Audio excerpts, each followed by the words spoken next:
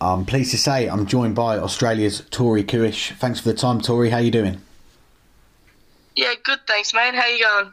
Doing good, thank you. And we're, we're talking at the start of the week that you make your World Championship return as part of the WDF Women's World Championship at Lakeside.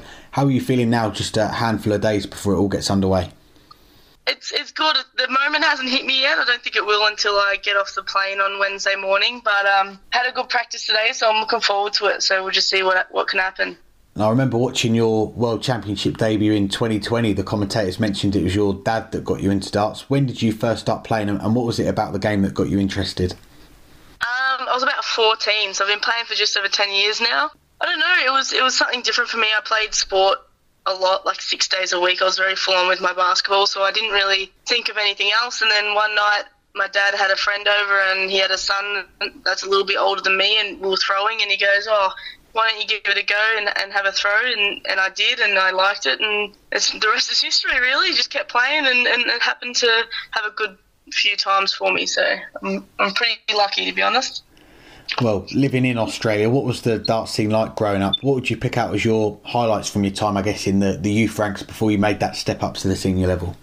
You know, I played a few Australian championships in the juniors, and and had some, some good. It was more like a lot of learning, you know, behavioural, uh, you know, mentally, dart wise, you know, with the counting and all that. But I had a, a moment in um, in Queensland, and I and I was the first um, junior to win all three singles titles, and it was one of those things I don't think I'll ever underestimate. I was I was pretty stoked about that. I think that's still one of my finest achievements to this date. If I'm honest. And away from steel tip, my co-host on our show, Burton, a few weeks back called you one of the best soft tip players in the world. And I, I was looking back 2017, you were the first woman to make the quarterfinals of one of the world soft tip stages in Hong Kong. How special was that run for you? Uh, I still, I'm still a bit baffled by that, to be honest. Like, I went there and I didn't really have much, much expectation, and um, we went across, and, and I was just, just trying to play. I wasn't really I didn't have anything to look look for. Like I was just like, I'm just going to give it a go. Um, I didn't even know that there was no lady had gone past 32 at that point. Um, and it got to the 32, and it was just me and Fallon, and and I got through and played a few games on stage, and all of a sudden I'm on the top eight, and I'm like, oh, where where did this this whole day go? I have no idea. I think I was just full of adrenaline, and it was probably the best darts I've played, like full dart, dart day of darts that I've played in ever. To be honest, it was it was real special.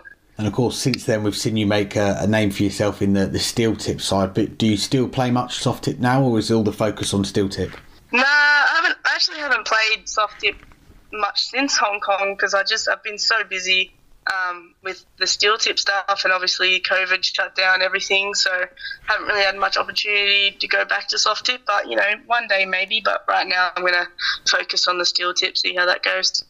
That's fair enough. Well, let's get back to the steel tip. And the, the following year, 2018, you and Leanne Marie Wilson team up to win the women's pairs in the, the WDF Asia Pacific Cup out in South Korea. What did that win mean to you? Uh, that was was one of the most fun days I've had, I think, at darts. And Leanne's a very good friend of mine, and we just gelled together so well. And that kind of win, it really put into perspective of how special it is to play for your country and how special it is to play with your friends as well, and how lucky I was that I got to play alongside a really good friend of mine. And all day, everything just worked out for us. And yeah, just stay. We were a bit stoked and excited about that. Was a bit of an understatement, I can tell you that much. yeah. Well, that year you also made the trip over to the UK to play in the BDO World Championship qualifiers. When did wanting to qualify for the Women's World Championship become a, a goal of yours? It kind of just, it, it, kind of was just one of those things, like one of the ex- expectations um, that was like, oh, I'm going to go over and play um, a couple tournaments. I'll give the qualifiers a go and kind of all just came together all at once, and all these opportunities were thrown at me, and I just had to grab them. So I did whatever I could to, to get over there and just play darts and gain that experience against the best players in the world. Well, back then the, the field was only 16 players for the World Championship, and as someone based in Australia, it was even harder to, to, qualify. 2019, you made the trip to Denmark, Wales for two of the bigger open events. How did you find those experiences?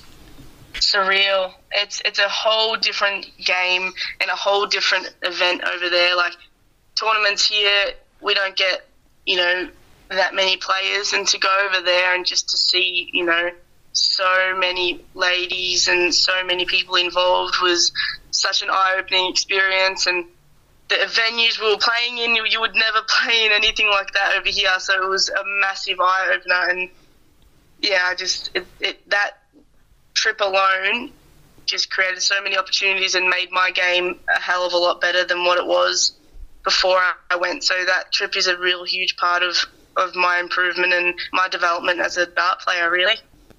2019, that was such a, a, busy year for you. As we, we also saw you make the semi-finals of the WDF World Cup Women's Singles, the last 16 of the World Masters, losing out to Deta Hedman on both occasions. I think the Masters was a deciding leg, so you were just one leg away from the, the TV stage. How much did you take away from those runs? Just pure experience. You know, I put it all under my belt um, after those, and you know that one leg away in that 16 that hurt. I can tell you that much. But you know, you try and take the positives out of all that. So I learned a lot from Deta that day, and, and a lot from myself and my own game, and, and hopefully I can fix those things up for any future games. But yeah, definitely, definitely was a tough, tough one. Well, it looked like you were going to end up just falling short in the rankings for the O2, but Trina Gulliver's withdrawal handed you that spot. What was your reaction when you found out you were in, and what was that build up like before leaving home to come back over to the UK and realise that dream of playing in the World Championship? It was funny because I actually got the phone call at like 4 a.m. and I was asleep, and I'm thinking, who is calling me at this time? Like, what could possibly happen? And I looked at it, and it was Des, and I was like, oh, that's a bit unusual. Like, why would he be calling me at? You know, it's not the middle of the night in the UK, but middle of the night here. So I answered, and he's like, oh, you're in, basically. You know, unfortunately, Trina's had to pull out, but we're going to announce it within the next few days. And then it was like just trying to get everything organised in such a short period. I didn't get much time to prepare. It was pretty much you're in, jump on a plane, and head over. So yeah, it was it was a lot. It was a very overwhelming experience, but I wouldn't change it for the world.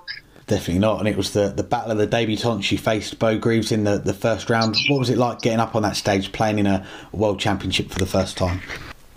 Um, it was it was just I can't even explain it. I'm not very good with my words, to be honest. I mean, I talk a lot, but I'm not great at with my words. Yeah. But um, it was it was definitely one of the, the greatest experiences of my life. And, you know, to play someone like Bo Greaves, who, although she's a lot younger than me, she's a lot younger than a lot, a lot of the players, and she she taught me so much, and um, I felt more comfortable playing against someone that I knew and, and spoke to. So yeah, I don't really know how to explain it. It's it's something that you don't really get until you're there in the moment and, and all the time and effort that you put into the dartboard, and you get there and it feels like it's all worth it and it, all makes sense. And that was, of course, a, a little over two years ago now. Since then, a, a lot's gone on off the oche. We've had the demise of the BDO, the, the pandemic, the WDF taking on the Women's World Championship. What's that time been like for you? Has it been tough to stay motivated with darts at times, or has the return of all these events now made you hungry to pick up where you left off? No, I, I had real, I had a real tough um, couple of years um, with darts. You know, I had a had a very I was very convinced that I wasn't going to play anymore, and or that I was going to have a little bit of a break um, for for a while, and all that stuff has come back, and it's kind of made made made me the love for the game. I've just got it back now, and and I'm very very look, looking forward to, to keep going and, and give it a go. Good to hear. And I, I think there was a, a 10 month break for ranking events in Australia from 2020 to the start of 2021 and you won the first event back. How good was it to be back out playing? Oh, it was so good. Um, it was in Morwell, I think, and and I was a bit nervous because I hadn't really played played for for quite a while, so I was really um, not looking forward to my game. Uh, looking forward to going to the darts and seeing all my friends, most definitely. But I was a bit scared on how the darts were going to go. But I had a pretty good time and, and, and played played not too bad. So it was it was good to get back in and get back into the winning circles. That's for sure. And a, a year on from that first event back, how are things now in, in Australia darts wise? Is everything back to normal? Are you back playing as often as you were pre pandemic? What's the scene like now? Slowly getting there. Um, we had a tournament a few weeks ago, um, not a ranked one, just a just a country one, and we went. I went down there for the singles, and it felt like everything was normal again. So I, I think darts is slowly coming back in where I am, and I think normality is kicking in, and yeah, I'm looking forward to it. It's gonna be it's gonna be a good good year, I reckon. Excellent. Well, this weekend we'll see you play at Lakeside, one of the most famous venues in darts. But you've you've travelled to a lot of different countries to play the game. What's been your favourite place to visit so far? Oh, probably Japan. I don't think you can go past Japan. Um, I've been there twice and, and it's never disappointed. It's one of the most beautiful countries in the world. And the darts over there is, is incredible. It's, it's huge over there. So I definitely think of Japan. Nice. Well, you play Scotland's Lorraine Hyde, who's making her World Championship debut in the in the first round on Sunday at Lakeside. I think Lorraine called you her twinny after the draw was made. I guess you two know each other well. yeah, we've got. Uh, we met in Romania at the World Cup, and we got on pretty pretty good. So we've spoken probably nearly every day since that day, and, and the fact that we drew each other is just comical. Like we we were having such a good laugh about it. So uh, at least we've got someone that we know and, and we're both comfortable with each other. So hopefully we can put on a good show for the crowd and for everyone watching at home. Definitely. And, and lastly, at, at 24, you're still one of the, the youngest in this expanded field of players for the women's draw, Bo Greaves being the only one younger, I think. But for you, having seen what Corrine Hammond has done, moving from Australia to England to pursue a darts career, is that something that you would like to try one day? I mean, never say never, but looking at it now, I, I don't see it happening anytime soon. But you never know what the future holds, I guess, and the opportunities that you get.